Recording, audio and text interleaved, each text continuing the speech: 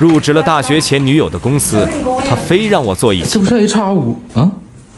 你不知道吗？城市传媒都这么做呀。摄影和 HR 一个屋。这还运营呢。好，hello。你你好，我看那边有摄影剪辑部，我可以上那儿坐去。都裁员了。啊？啊，对对。那部门不是还空着呢？我可以可可以。微了。啊。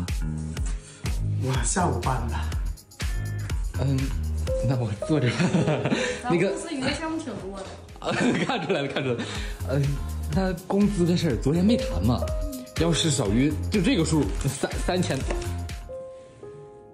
那够用。那个姐，那我那个没没事没事。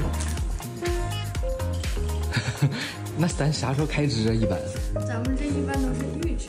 预支。哎。大兄大兄弟搁这呢，别别别别，那那个，我俩不是那种关系啊。懂懂懂啊。那你们俩就交接一下工作吧。那你跟我们何总是？何 HR 总经理啊？你这小何啊？对对。我跟他，我跟他是。我俩大学就处了，但是已经分开四年了。哎，对对，已经已经已经没有关系了。我俩就是，现在就是在一个公司工作。懂懂。